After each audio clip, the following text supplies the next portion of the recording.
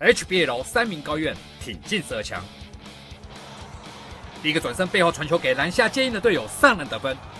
HBL 高中篮球联赛昨天进行第三天的预赛，各队为了抢晋级前十二强，奋力拼战。穿绿色球衣的高院以九四比七十一击败成功高中。青年高中的空位拿到球切入，漂亮得分。前年高中对上穿深色球衣、上届亚军的泰山高中，在第四节采用包夹战术，造成泰山失误连连，中场以八十三比六十二击败泰山高中。昨天男子组六场预赛，还包括松山、三明等队获胜。其中男子组十二强共有高院、新农、南湖等十所学校出现。